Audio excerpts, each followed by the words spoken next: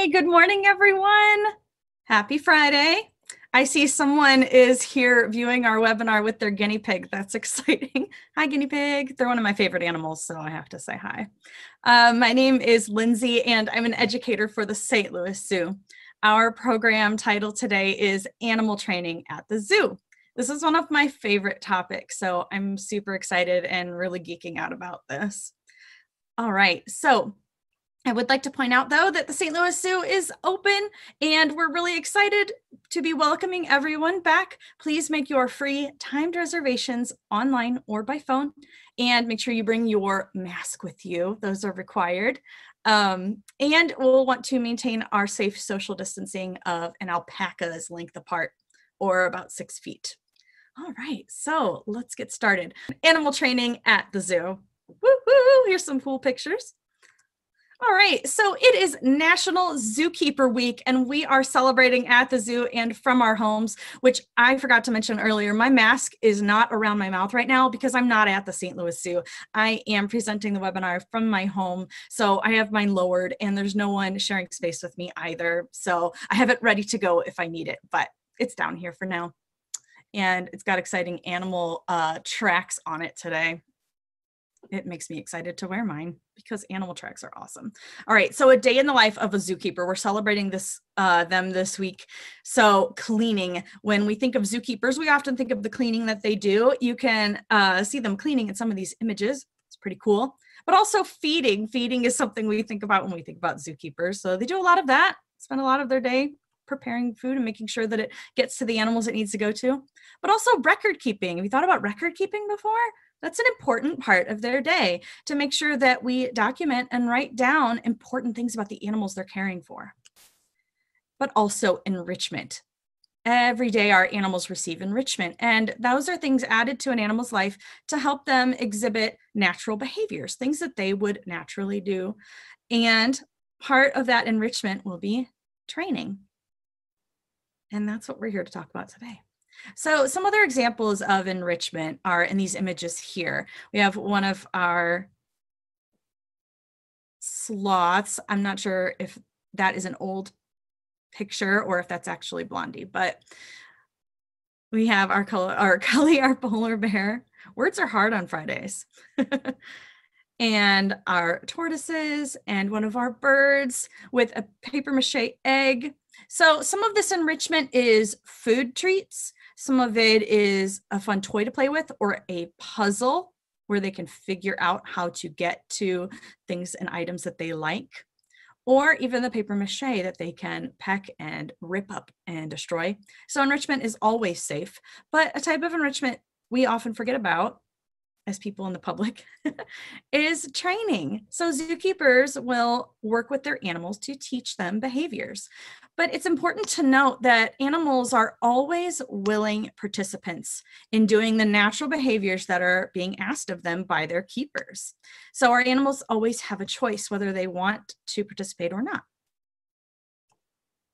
But why train animals? Why would we do that with them?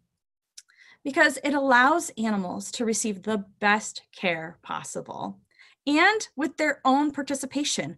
Remember, they're choosing willingly to participate in a training session so they can help in their own care. And it allows zookeepers and our animal health care team to do their jobs more safely and easily. And it provides enrichment to the animals' lives. It's fun if training isn't fun, you're doing it wrong.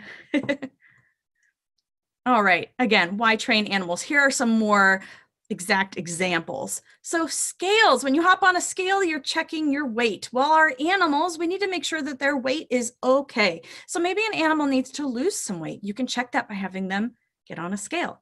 What if they need to gain weight? Maybe they're going to have a baby and we need to make sure that they're growing and gaining weight. You can do that with a scale. So animals, though, we can't get inside of their habitat with them and just shove them onto a scale, nor would we want to do that to them. That's not very friendly or kind. And a lot of times an animal might be way too large to do that even if it was all right. So if we can willingly ask an animal, hey, move on to this scale, and they do it, awesome. It's easier all around and safer for everyone. Also, radiographs or x-rays. What if an animal might be injured? We can willingly, or they can willingly move into an area to get an x-ray. Also, needles. Oh, many of us don't enjoy going to get a needle stuck in them for a vaccine to prevent an illness, or if you're getting your blood drawn so that you can look at your, or the doctor can look at your blood to make sure that you're healthy. Well, animals can learn over time to accept a needle being put into their arm or their neck. Also, this weight is to symbolize exercise or to move your muscles. So, some animals might need a little extra help getting some exercise or moving their muscles in certain ways. What about physical therapy? If you've heard of that for humans, some animals might need some of that. Well, with training, we can help them do that. Rubik's Cube. If you've seen these before, this is symbolizing our brains. So, animals, their brains we can use training to help them have fun solving puzzles or figuring out how to do something. And this is a student in their chair because education, training can help educate people about animals and help with conservation. So if you've been to one of our animal shows like the Sea Lion show or our shows in the children's zoo, those are helping teach people about animals and the animals are having fun while they're doing it. So we're training animals, but how do we do that? Zookeepers at the St. Louis Zoo use positive reinforcement training, but let's learn what that means exactly. It might be a little confusing, and that's okay. All right, this is when Lindsay starts to really geek out. This is one of my favorite topics ever, but I'm going to keep this brief. It's going to be fun, I promise. We're not going to go into a lot of details because this is just a 20 minute webinar today. So if any of this sounds really fun and exciting to you, please do some research on your own and let's get started. So two types of learning that we'll talk about really quickly today is classical conditioning and operant conditioning. Operant conditioning has positive reinforcement as part of that learning. So that's what we do at the St. Louis Zoo. Now, classical conditioning. This works for involuntary behavior or behavior that an animal or you don't have any choice in the matter. So if you think of us as animals as well, we're mammals. All of this works on people too. So once you learn how to do this, you, you can do it to your friends and family. so this is for behavior that you don't have a choice in the matter. The prime example of this is Pavlov's dog. Pavlov was a person. Um, we can also call this Pavlovian conditioning. So this example really quickly is of a dog and he's drooling because he sees some meat that looks really tasty to him. Now this dog also could hear a bell ringing, but he doesn't drool because it's just a bell ringing, right? Well, if you pair that bell ringing with the meat, over time, that dog will learn that a bell ringing means that that steak is coming and the drooling will occur when they only hear the bell. Awesome. So the drooling happens and then they get, and then the meat shows up. All right. Operant conditioning, though. This is really what we want to look at. So this happens with voluntary behavior. So when an animal has a choice. So, what happens after a behavior determines the chances of that behavior being repeated. So, behavior happening more or happening less. So, instead of it happening beforehand, this happens after the behavior.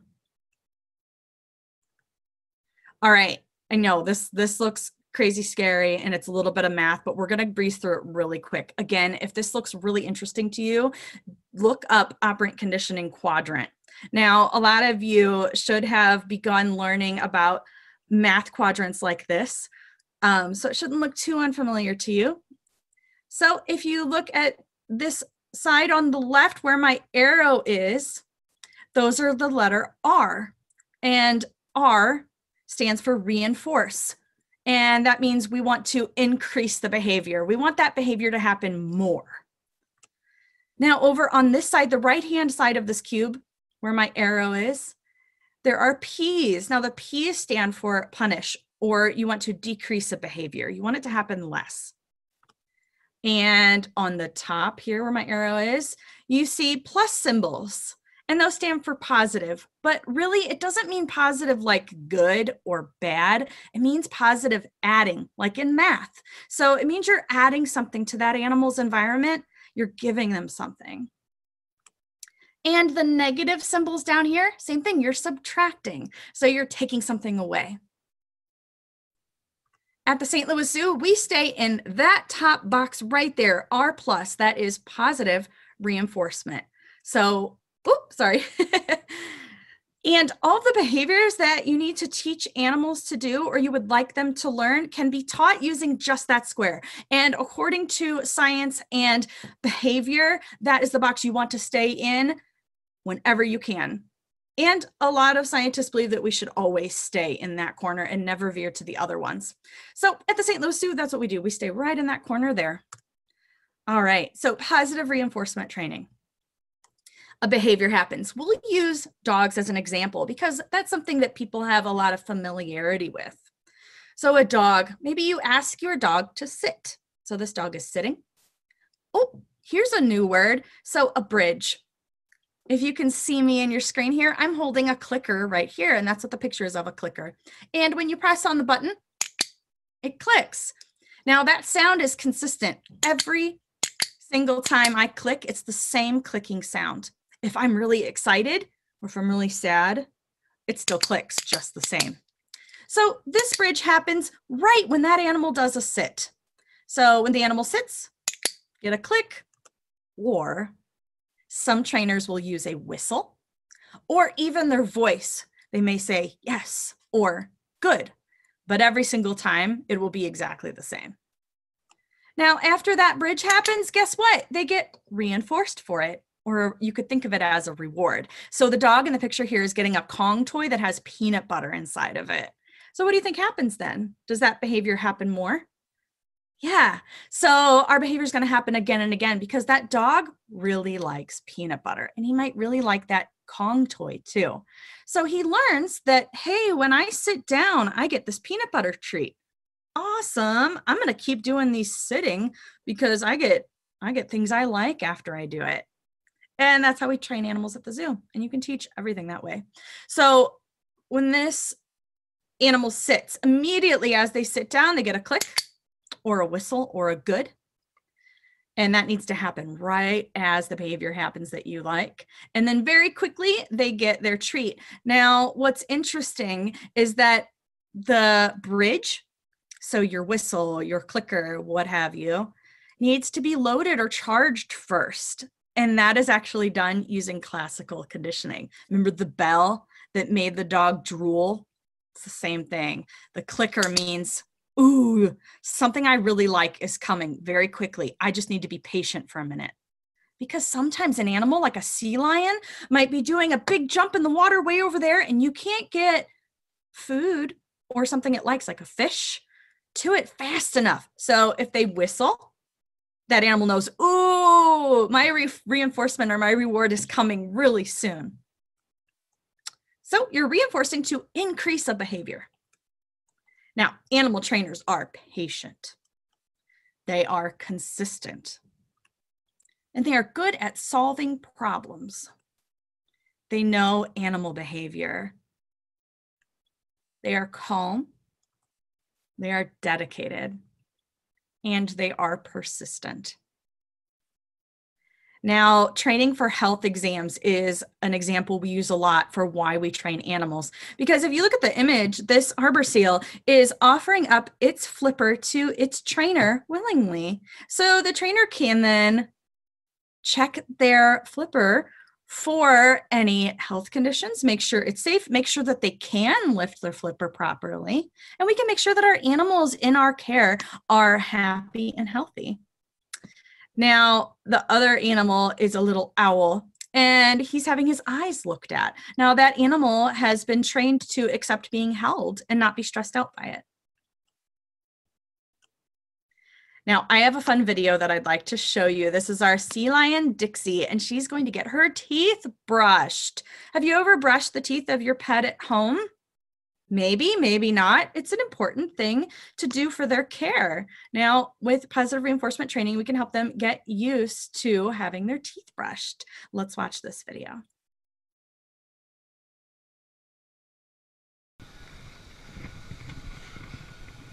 Good.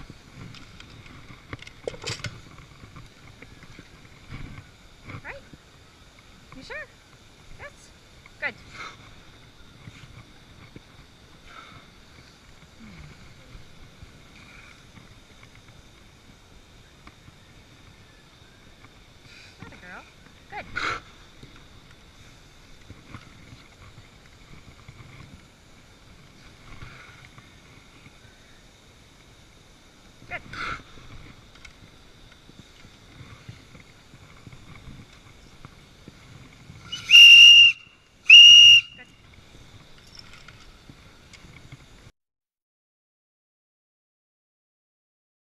So if you notice, Dixie, when her trainer asked her for a behavior, if she did the behavior she was asking her to do, then the, the trainer would mark that behavior quickly and say, Good.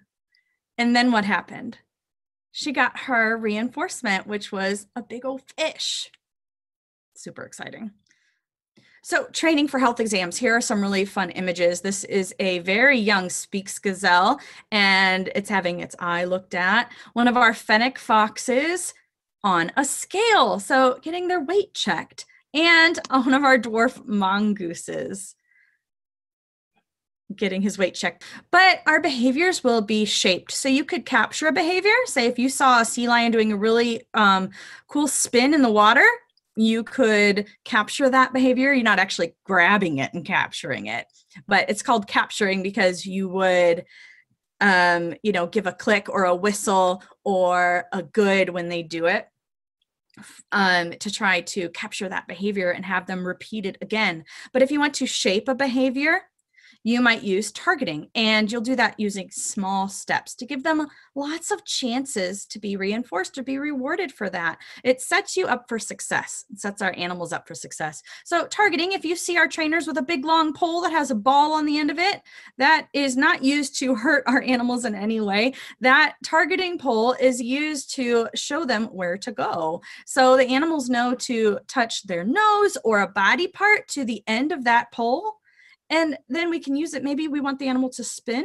So you could move that target and then the animal will follow it. So this is a really fun video. So let's watch this to show us how zookeepers will shape important behaviors using small steps.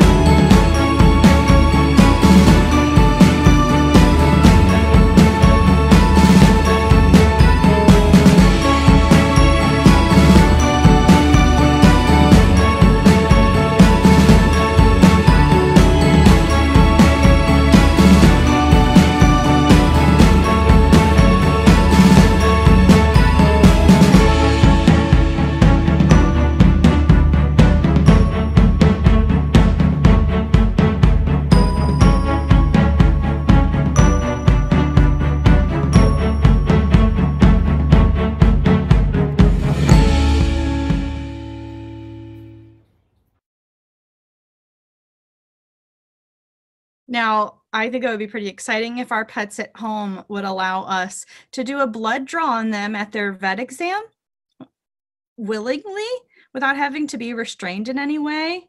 It's pretty cool. And those are things that we do at the St. Louis Zoo so that our animals aren't stressed and it's also safer for us and them. So, shifting is another thing that's important for our animals to learn. You can also think of training as teaching and conditioning as learning. So when we're training animals, we're just teaching them. So animals, when they shift, they are reinforced for going to different parts of their home. Now, why would they need to do that? Now, our polar bear, Cully, our keepers can't share space with him. It's not safe and he might not enjoy it. So when we need to put things in his home or clean up after him, he'll need to move to another area. And with training, we can teach him to do that. In these images, you can see a keeper in one area of the primate house and some animals in a different space. So our training with Cully the polar bear is something I would like to show you. This is when he was five years old, and it's a great example of training at the St. Louis Zoo. Target. Good. So Cully's getting chunks of herring today and blocks of lard, two of his diet items and two that he really enjoys. We like to use positive reinforcement training here at the St. Louis Zoo, and that means that when uh, he does the behavior that we ask him to do, he gets reinforced so he gets a treat, the lard and the fish. Uh, so today we were working on target. Basically just means that he touches his nose to the end of a target stick and that helps us to build on other behaviors. It can get us to help him move where we need him to go if we're training him for a veterinary procedure or something like that. The other behavior we worked on today was lay down. Basically, it's asking him to lay down on his belly with his paws out flat. And again, all of these behaviors just help us to take better care of him. They help him to participate in his care. Um, if the veterinarians need to examine a part of his body, so he'll show us his paws, he'll open his mouth, stand up on his hind legs and show off his belly. Good. Um, so we also gave Cully a little bit of browse. Um, this type of browse was bamboo. He will eat some of the leaves if he wants to, but he um, more likely will just play with it and sort of manipulate it. Um, he can kind of use his big old teeth to crack it open or his uh, paws to snap it. Um, we would never share space with him. So as closest we ever get to him is what you saw us doing here at the interactive walls. We always have that steel mesh in between us and the bear. So no, we do not open the interactive walls at the same time every day. We typically do it maybe twice a week and it's always at varying times. And that's because we don't want Cully predicting when he's going to be fed. Um, he's never fed at the same time each day.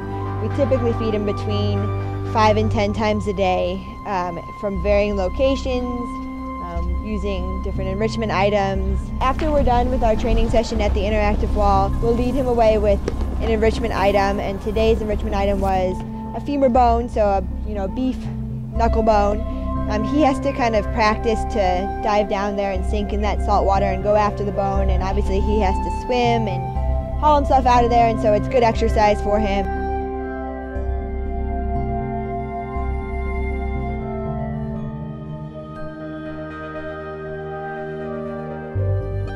I think those videos are really great examples of targeting and shaping and also the types of reinforcement that our animals look at. So our Matschie's tree kangaroo years ago when she had a little Joey, we want to make sure our young animals are healthy and happy and we can use training to accomplish that.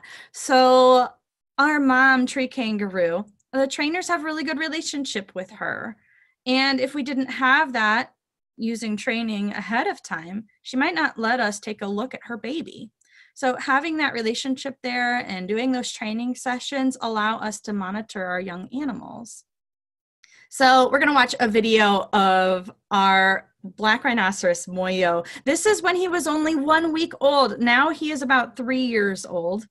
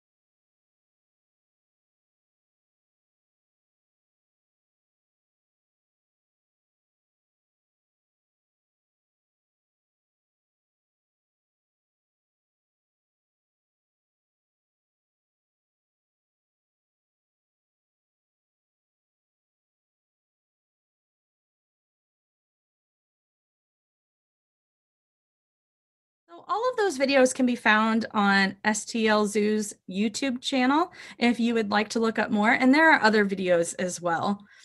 So, have you started teaching or training your pets at home? And make sure if you do, you have fun. Training or teaching animals should be fun. And I'm going to check the Q&A. Oh, so why do they brush their teeth and then get them dirty again? That's a question. Yeah. So when you, you know, brush your teeth or uh, so when we brush our teeth at night, let's say, we'll go to bed then and not eat anything to make sure they're good and clean. But the act of brushing will still get off and help remove tartar or other particles on your teeth that are there and might cause damage. Um, also, inspecting their mouth is a good behavior to get them used to, so that if they need a dental exam, they're used to having foreign objects inside of their mouth. So sometimes it's not even about the act of brushing their teeth. Um, you know, a toothbrush is a new object, it's something inside of your mouth. So there's lots of reasons for that. But yeah, you know, as soon as they get their tooth teeth brushed, they'll get food as a reinforcer. So yeah, their teeth are getting dirty again. I acknowledge that it does seem a little bit counterintuitive. Uh, so, how much natural foraging do the animals do at the zoo? Lots, and that will be part of their enrichment too. Maybe someday they aren't naturally able to do as much foraging in their home, maybe due to weather, maybe there isn't as much grass that day if it's an animal that likes to have grass in their home. So the keepers will enrich their habitat with more foraging opportunities, depending on the animal and what they need. So, yeah, I had a lot of fun today. Thank you guys so much. Have fun training your animals at home, and we'll see you at the St. Louis Zoo. Remember to bring your mask. Bye, everyone.